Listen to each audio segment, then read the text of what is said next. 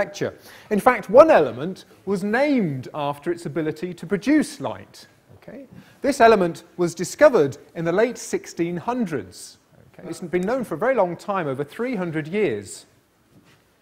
This element is called, does anyone know what it is? Phosphorus. Oh, somebody's very good there, yes. Phosphorus. So phosphorus is uh, named from the Greek meaning the light giver or light bringer. Well, we better find it in the periodic table. Time to test your chemistry again, those with lasers. So can you find, oh, very good, yes. So it's P for phosphorus.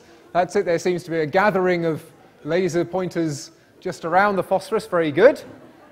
Well, why was this discovered quite so early on? Say this is a very, very reactive element. In fact, so reactive that it spontaneously ignites in air.